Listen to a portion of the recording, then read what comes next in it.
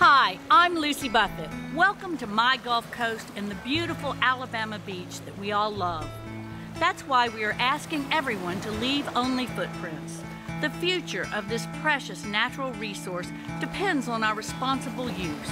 So please, have fun, but follow safety regulations and remove all of your gear from the beach each day.